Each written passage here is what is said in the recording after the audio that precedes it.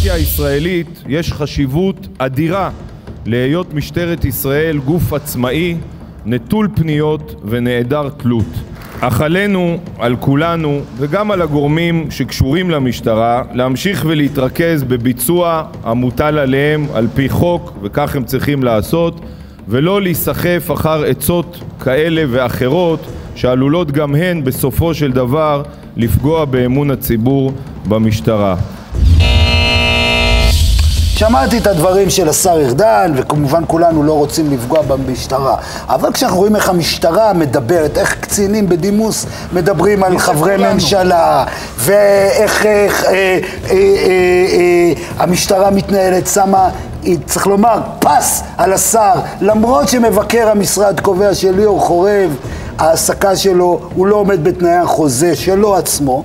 והמפכ"ל לא סופר את השר, אבל הנה השר נותן את ליטרת הבשר.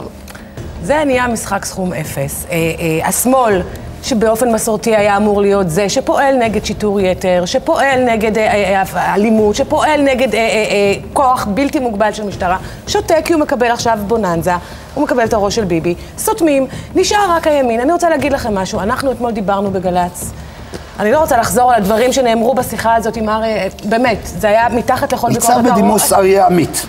חומר אנושי שהוא באמת ירוד ברמה שקשה לתאר. קורים במשטרה דברים, במיוחד מבחינתי... יש ראש אגף חקירות שהכל בין...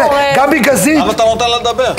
מה שקורה עם ליאור חורב זה אנומליה מטורפת, ואם אתה מבקר את זה, אז אתה הופך לפשיסט, העולם מתהפך. תודה, גלית. אני מתחבר למה שגלית אמרה בהקשר אחד. אני לא מדבר על כל חוק ספציפי, אבל ודאי החוק שאוסר המלצות.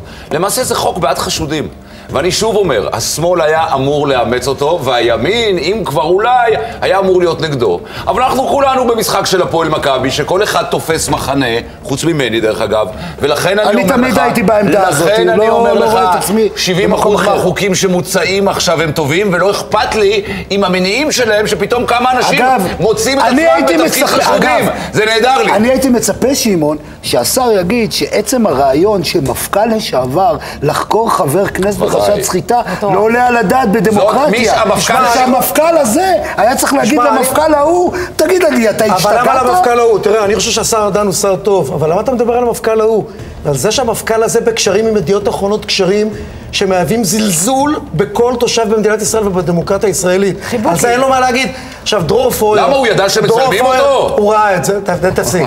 דרור פויר, חבר שלנו, כתב היום נהדר על מושג שנקרא Deep State. הוא דיבר על משהו שלקוח מטורקיה, שבו הצבא וכוחות הביטחון אמורים לשמור על המדינה. המשטרה, השב"כ והתקשורת. וקורה את אותו הדבר במדינת ישראל. דרור פויר, שהוא לא מהימין, אמר, תראו מה קורה פה, אני.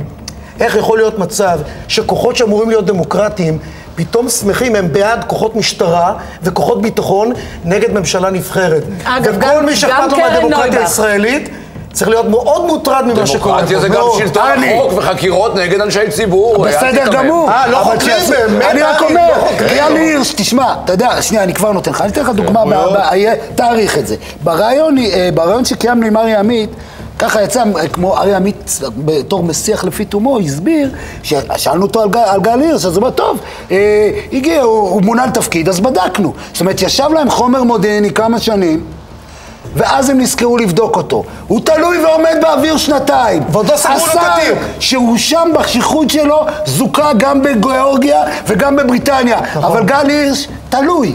כן, אני. אה, היום פתחתי את השיעור שלי באוניברסיטה עם הדבר הזה, עם הדילמה של התנגשות של מוסדות דמוקרטיים בתוך מדינת ישראל. דיברנו על זה כבר, אני אגיד עוד הפעם. אני חושב שהמינוי של המפכ"ל הזה נולד בחטא, הוא ממשיך בחטא. יש בעיה מאוד גדולה. הניסיון להגיד, אוקיי, בוא נסתכל עוד הפעם על השמאל, בוא נסתכל עוד הפעם על הימין, לא. יש פה שאלה מאוד קריטית. האם ממשלת ישראל שולטת, האם יש משילות? התשובה שלי היא לא. למה? אני למה? זה לא משנה למה. כי זה שמאל וימין. כי ה deep state שם, אתה יודע.